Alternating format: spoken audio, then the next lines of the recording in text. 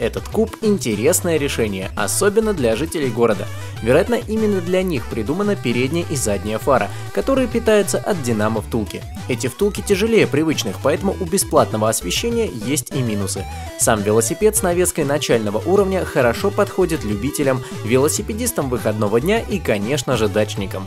Свет на борту при катании за городом как нельзя кстати, где мало освещения, темные дороги не страшны, а в городе можно обозначить себя. Вибрейки, неприхотливые в использовании, удовлетворяют потребности новичков.